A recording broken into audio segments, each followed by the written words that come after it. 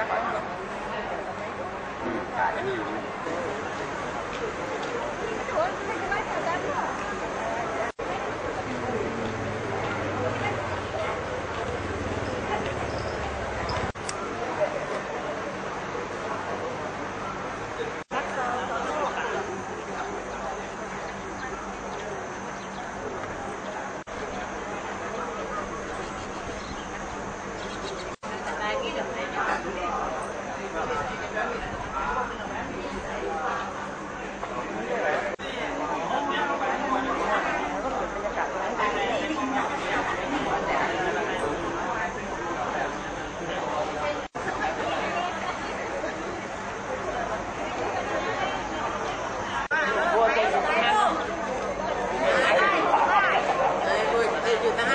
ป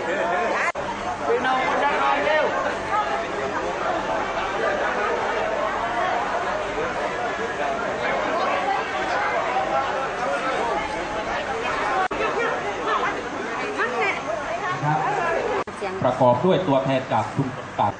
จากประกาศดังกล่าวโดยตรง จึงขอเสนอที่มีการบุกรุกใหม่ กับชุมชนในวิถี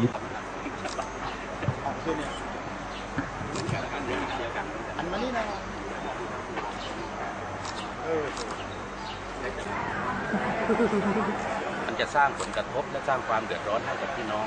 ชาวประมงส่วนหนึ่งที่อยู่บริเวณแม่น้ำลำคลองและริมชายฝั่งด้วยเหตุผลว่ามันเป็นการ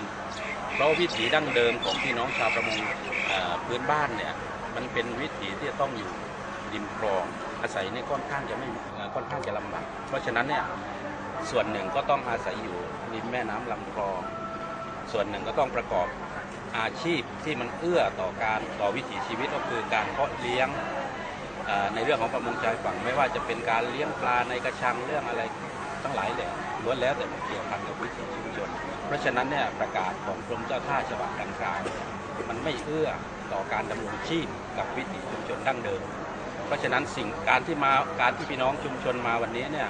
ก็อยากจะบอกกล่าวและอยากจะวอนขอต่อหน่วยงานที่เกี่ยวข้องทั้ง ทั้งหลายในทั้งกรมเจ้าท่าทั้งท่านผู้ว่าราชการจังหวัดเนี่ย